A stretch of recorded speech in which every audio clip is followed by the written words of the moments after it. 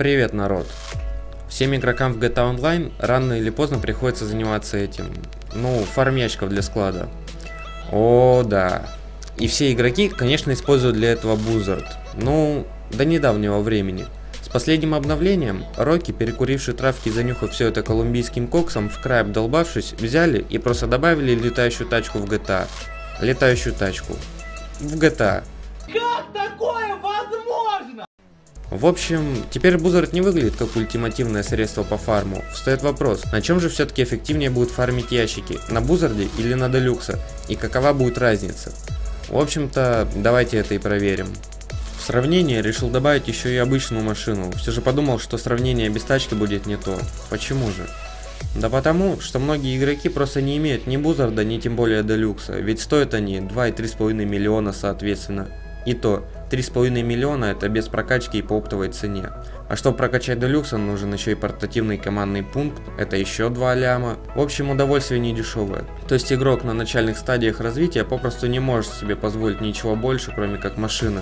И да, я сейчас говорю не о Т-20 или Вагнер, а о чем-то более приземленном. Посчитал, что машина должна быть максимально дешевая и быстрая за свою цену. Сначала подумал, какую же тачку использовать как представитель четырехколесых, а потом вспомнил, что лучшая машина это бесплатная. Олеги, бесплатный спорткар. Все новички в GTA рассекают именно на таких. Кроме того, что бесплатная, так еще и одна из топовых в спортивном классе. Способна потягаться с тачками ценой в пол ляма и более. В общем, это идеальный вариант для демонстрации того, с какой эффективностью сможет фармить новичок в GTA Online. И да, если игрок рассекает на элегии, то скорее всего офиса он не имеет. Но ведь для таких игроков и создали мотоклуб. По сути, фарм везде одинаковый, поэтому сравнение на фарме ящиков можно перенести и на сравнение по добыче сырья для предприятий мотоклуба. С выбором машины разобрались. Тачку будем использовать в полной прокачке. Если игрок накопил на мотоклубе предприятие, то уже способен прокачать автомобиль. Кстати, могу подкинуть небольшой лайфхак тем, кто фармит на машинах, а также это даст преимущество нашей легии в этом сравнении.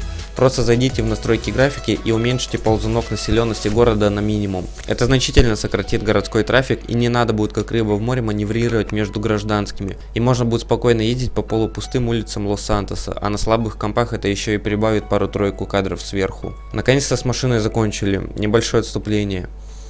Возможно, я все чересчур размусоливаю, но все же хочу сделать максимально точный, правдоподобный и прозрачный тест, чтобы все знали при каких условиях все было проведено, и чтобы все это донести необходимо время, хотя и так стараюсь сжать информацию настолько, насколько это возможно. Перед тем, как перейти непосредственно к фарм-тесту, давайте запустим наших подопытных по шоссе. Посмотрим, кто из них приедет к финишу первым. Так мы узнаем, кто будет быстрее преодолевать далекие расстояния по прямой. Но это больше относится к Бузарду и Делюксу, так как они летают, а машина будет ездить на земле по улочкам. Но все же для наглядности и ее в тест тоже добавим. Скорость Делюкса проверяем в двух режимах, в режиме полета и в режиме обычного автомобиля. В общем-то зачем? Как можете заметить, в режиме автомобиля Делюкса неплохо так прибавляет в скорости. Во время фарма ящика этим можно воспользоваться, что даст ему определенный бонус. Об этом слегка позже. Как видим, по максимальной скорости Бузард имеет очень и очень неплохое преимущество, но оно отчасти будет уменьшаться из-за более долгой посадки вертолета, более долгого взлета и большей потери скорости при набирании высоты относительно Делюкса.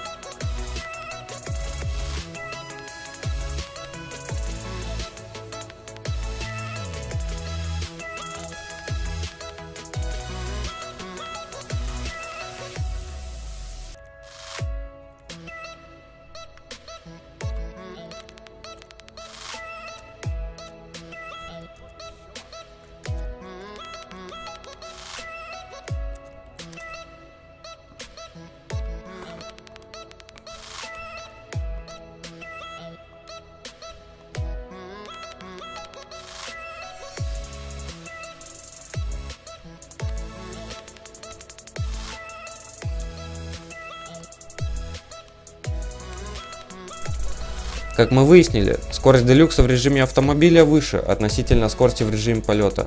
Поэтому что я предлагаю? Если во время поездки до ящика путь пролегал через прямую дорогу значительной продолжительности, то на Делюкса я ехал как на обычном автомобиле. Таким способом можно было дополнительно сэкономить драгоценное время. Выглядело это примерно так.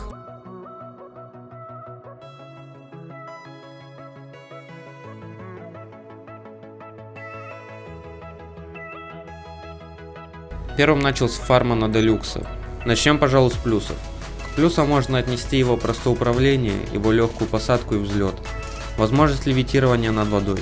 Во многих миссиях это значительно облегчает работу, когда необходимо взять ящик с воды, а также его самоуправляющиеся ракеты.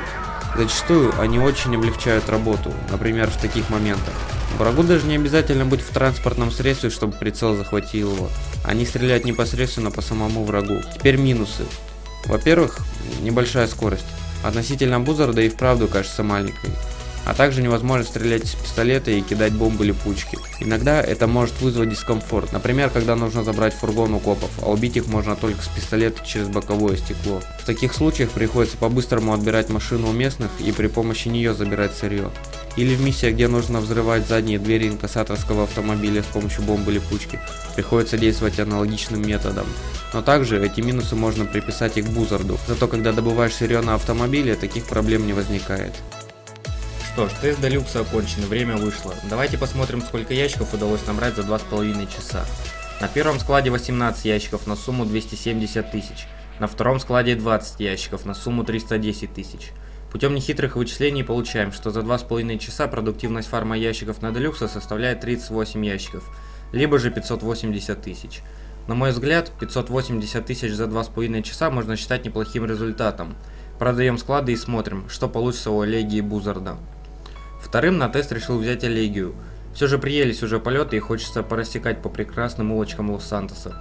Кстати, думаю сделать сравнение Олегии, на которой мы сейчас гоняем, с Олегией Ретро. Все же интересно, что там изменилось по скоростным характеристикам. Если говорить о плюсах и минусах фарма на машине, то минусов, конечно, больше, чем плюсов относительно Делюкса и Бузарда. Самый большой минус – привязанность к дороге и трафик – также профита от такого фарма меньше. И я сейчас не о количестве ящиков за единицу времени, а о том, что чтобы, например, сбить вертолет, необходимо стрелять в него и снайп с разрывными патронами. Или с ракетной установки, а это уже минус полторы тысячи. Или чтобы избавиться от засады копов в некоторых миссиях, тоже приходится тратить бомбы липучки или РПГ. Еще минус полторы тысячи. Тогда как на Делюксе и Бузарде это все выходит абсолютно бесплатно тому же, когда забираешь сырье у бандитов, они отчаянно пытаются вернуть его назад, постоянно стреляя по вам и пытаясь спровоцировать лобовое столкновение.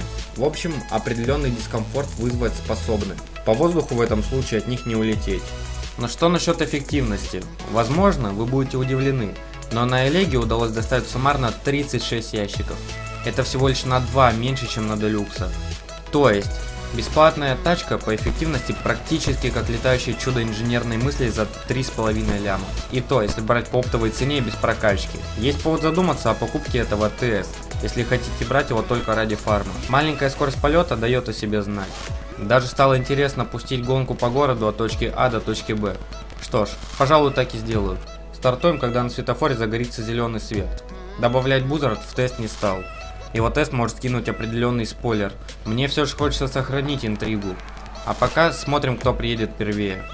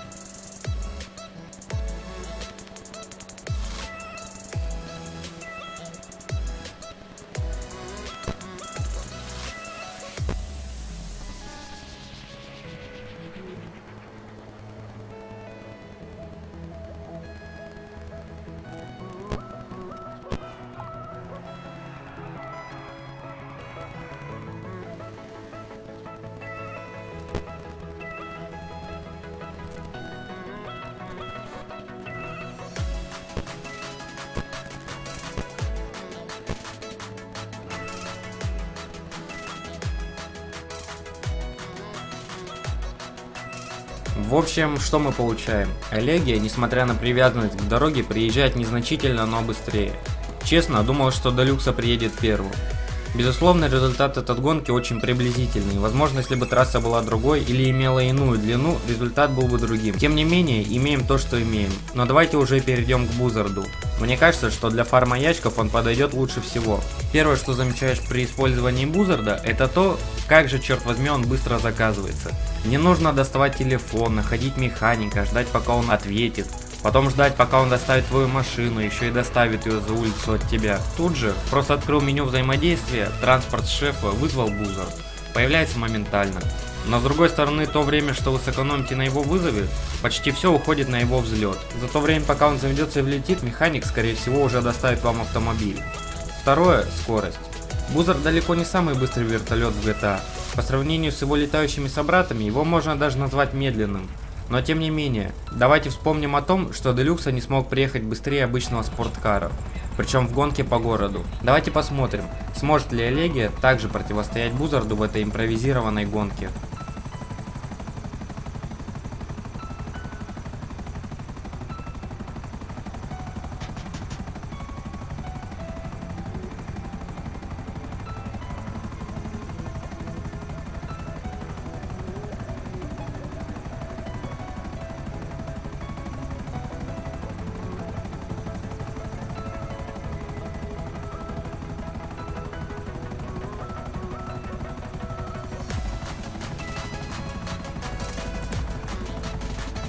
Несмотря на долгий взлет Бузарда, вскоре он набирает неплохую скорость, благодаря которой с отрывом выигрывает у Олеги. В общем-то, после этого теста уже можно предположить примерный результат.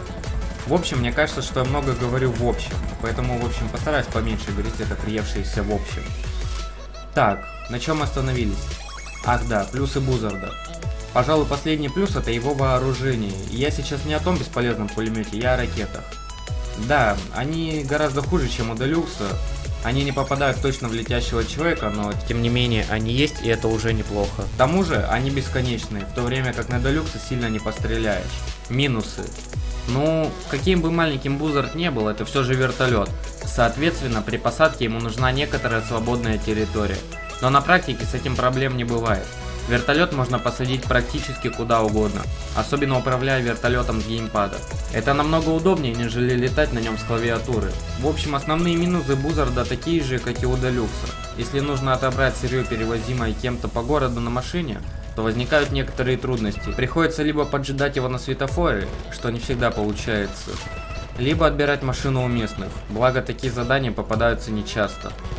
По особенностям фарма на Бузарде прошлись. Теперь самое важное, то ради чего и собрались. Сколько же удалось собрать ящиков с его помощью? Суммарно вышло аж 48 ящиков на сумму 744 тысячи. Больше, чем у предыдущих двух, так еще и с отрывом. Итак, давайте подытожим и подведем некоторые результаты и посчитаем чистую прибыль от фарма на каждом из транспортных средств.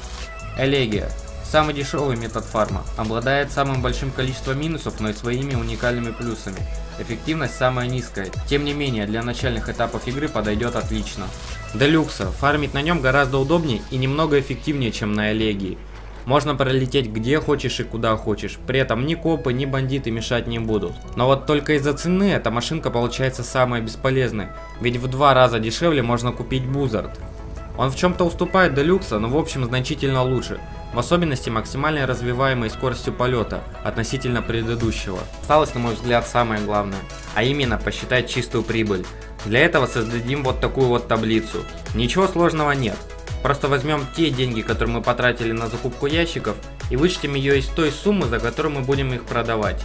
Таким образом, чистая прибыль у Делюкса составляет 428 тысяч, у Элегии 396 тысяч и у Бузарда рекордные 552 тысячи.